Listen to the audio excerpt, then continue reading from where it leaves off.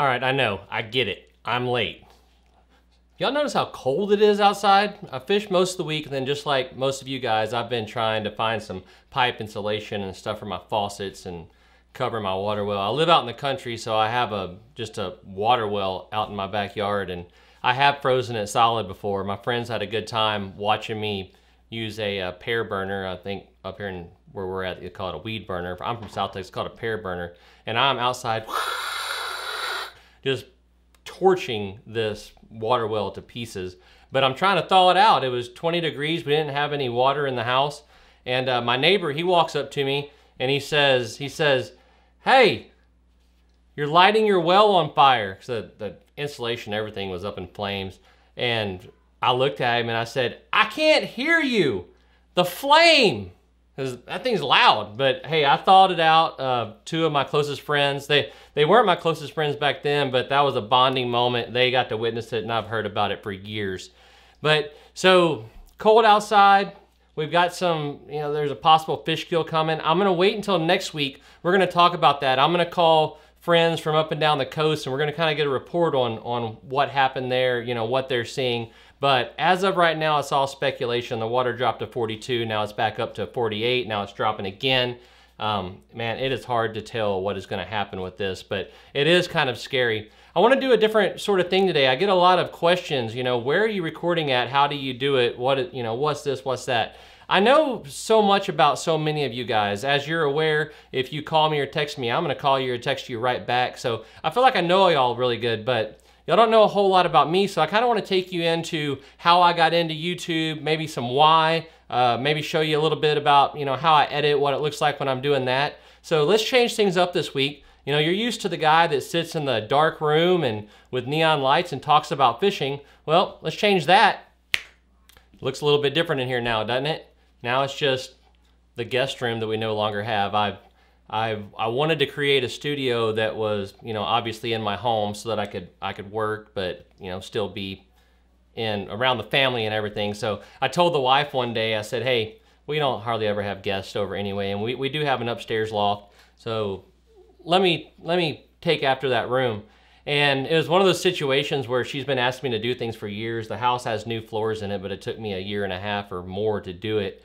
And I came into this room, repainted it, set it up, put the computers in. I did all of this in probably about five or six hours. Now the, the, the stuff behind me here, that's kind of grown and accumulated, but the room was painted and ready to go in a couple of hours and boy, she, I did not see it coming, but she was not happy that she asked me for years to do things and when I decided I wanted to do something, it happened in a couple of hours. But it's just a man thing. So I'm gonna take you around the studio. I'm gonna kind of show you how it's set up, what I do, you know, like talk about a little bit about how I got into it, why I got into it and things like that. So I'm gonna, I'm gonna switch over to my other camera, leave all this set up so you can see exactly what it is that I'm looking at, and we're gonna go from there.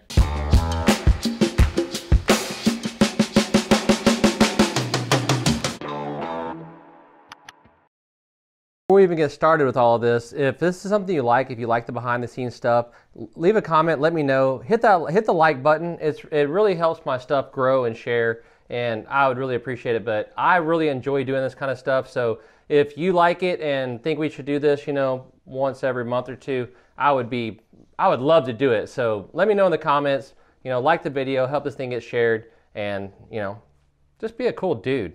Please, you don't have to like it, but if you want to be a cool dude, like it. So first things first, since we're talking about my personal life here, something really exciting happened yesterday. Um, I'm not sure how many of you guys have heard of Salt Strong, but Salt Strong gave me a call yesterday and we're talking about doing some collaboration stuff with them. I think it, it, I think it'll be a good time. They were wanting somebody to come in and talk about Corkies and some of the Texas stuff. Uh, Wyatt, one of their creators, has moved down here to the coast, not too far from me, and I think Wyatt and I are going to start doing some stuff together. You know, both for use on my page and on on their page. But I had a great talk with him. So Salt Strong, you know, check it out. Salt Strong is a big organization. I think they have like 177,000 followers on YouTube, 150,000 on Facebook. So I'm really excited to get to come and you know collaborate and contribute to to them a little bit and get to know those guys better. They're they're way bigger than me and it's very exciting. So hey, thanks so much Wyatt and Salt Strong for even considering me. Thanks for the phone call and I can't I can't wait to you know get to work and, and do some stuff with you guys. So like I told y'all, the studio is our old guest bedroom. I I came in it. I changed the color of the walls. I put all LED lights in here. The, the regular lights for the house, just they just weren't enough to give me the light that I needed in here. I'm gonna show you my cameras, my monitors, my mics, all that kind of stuff. But first things first, how did I even get into YouTube? This wasn't my idea. I'm gonna be dead honest with you. I, I for Christmas couple of years ago, well, I say a couple of years ago, not this Christmas, but last Christmas, I got a handwritten letter from my brother-in-law. This was my Christmas present from him. And basically, it's, it's two pages. And my brother-in-law, he's a he's a very successful guy. And gonna be honest with you, he's one of my heroes. I'm very uh, I'm incredibly blessed to have him in my life, and I'm very happy that you know that he's taking care of my sister. But he, he, he wrote me this letter, and basically the gist of it was that you know, I've been doing this a long time. I've been guiding a good while, but I've been fishing a long time and I've really put my heart and my all into it. I read just about every Texas saltwater fishing magazine, uh, you know, every website, everywhere I could gather some information, I did it because, as I've told some of you before, uh, I'm a first generation fisherman. My, my dad was not a saltwater guy, he bass fished a little bit, and I grew up doing some bass fishing with him and, you know, rivers and tanks and ponds and, and lakes and stuff like that. But, but it wasn't until I had already put quite a bit of effort into it that I started meeting other people that you know helped me uh, get my learning curve to, to you know shrink shrink it, whatever, make it shorter. But um, anyway, I put a lot of a lot of time into it, and basically what this letter says is you put a lot of time into something that you know can't be bought. If if you're just getting a new and fishing, there's no amount of money that can get you the experience. So why don't you find a way to to to get that across. And you know, he, he went on. 51% of the population listens to podcasts. 56% of the listeners are male. I mean, he, he did some work. He put some effort into this. And um, heck, I mean, there's even a flow chart, y'all. I got a flow chart from him. So anyway, so he came up with this. You know, why don't you do something to to help spread your knowledge? And I'm not sure if it was if his intention was to monetize my knowledge. Uh, you know, more so than being a guide. But, you know, I elected to not do that. I don't believe that my, what I want to do is to charge to help others out because I was helped out. Everybody was helped out in some way. And I just didn't see, I, I didn't want to do that. So that's where I came up with the idea of doing YouTube. So I, I, that was in late December. Early January, I, I, I worked on computers at, at my offices and my jobs but it was just Excel, PowerPoint, Word, you know, Microsoft Office stuff is what it was. I had never even considered editing video or editing audio. A lot of the music that you guys hear in my stuff, I have pieced all that together and I use other software to make all that happen. So these are things that I didn't know how to do. So the month of January, I was up all night, almost every night, watching YouTube videos about how to work cameras, how to work computers, how to work software, what was the best software. Uh, uh, Robert Jones, the guy you've seen in my videos, he's a very good uh, cine, cine, cinematic uh, videographer and he's a very good editor. So I did have him at my disposal, but I didn't want to just bug him to death. So I learned everything I could, and then the, for the finer, more minute things, then I then I got with him and said, "Hey, you know, explain this to me." So for the entire month of January, it was cameras and computers. And then I turned around and did the same thing in February where, you know, I was up all night. I'm talking three or four o'clock in the morning and I'm watching videos on how to start a YouTube channel, how to do your SEO, how to, you know, just all the different things that make it tick. So I, did, I had no background in this before. I didn't know what I was doing. It was scary. I'm not even great at public speaking. I get really nervous. I get really anxious whenever I'm asked to speak, even back in my oil field job, you know, I, I, didn't like it. I didn't like being in front of the camera. I didn't like talking. As I've done this more and more and more, well, then, you know, I'm getting more comfortable with it, you know, more so now than I was whenever I started. But so I did that January, February, nothing but watching videos on how to do this. February, uh, mid February, I did learn something. It's very dangerous to get on Amazon at 4 a.m. You're kind of delirious. You'll spend a lot of money. I have so much gear that I'll probably never use, but I but I ordered it. But so then I went and bought my first computer, bought my cameras, did all that kind of stuff, and, and got the start from there. One thing I always wanted to do is I wanted my channel to be different in the fact that I was teaching. So even the videos I've done where I'm fishing, I'm I'm talking I'm talking about why I'm fishing it, how I'm fishing it, you know, what I'm seeing. I, I never really wanted to have the channel where I'm just fishing and catching fish. You know, nothing wrong with those channels. It's just not what I wanted to do. I wanted to be a learning channel. I'm a teaching guide. Let's have a teaching channel. So, so that's where that came from. So I'll, I'll show you some stuff here on the computer here in just a little bit. But hey, oh, and hey, check this out, by the way. Check out this cooler from Castaway Customs. It's an Orion cooler, so it's a big, nice, uh, you know, the roto-molded stuff. But Castaway Customs put my logo on SeaDek on top of it, and frankly, I couldn't be more excited about it. I mean, I am super excited about that. That's that's super neat. So big thanks to Castaway Customs. I'll put a link to their website down below. They do stuff like that. It's not overly expensive at all. So whenever I'm in my studio, you guys, you'll always see the the lights and the stuff in the background. What happened was was I did my first couple of fishing videos. Well, then COVID hit, and I wanted to keep the momentum going. So I ordered this this pegboard on Amazon for like I don't know a hundred bucks, and I, I, made a backdrop there. I put this blue LED strip on it, which I don't know, cost me another 15 or 16 bucks. I've always been working on a budget, so I did that and I made the backdrop. I did the videos during COVID and they were well received. But so I mean, what I got up here, I've got some of my favorite lures. I got my DOAs, my high water corks, my Paul Brown Fat Boys. You know, a bunch of different hard baits that I use. I've got tools that I use to work on my rods and reels here and then you know my grease and, and all that kind of stuff. So, but this this this board is a lot of what I like, and then I've got a lot of sentimental stuff. This is my dad was a jeweler, and this piece right here, he actually had a machine where he traced this out and it cut into the back of every piece of jewelry he ever made.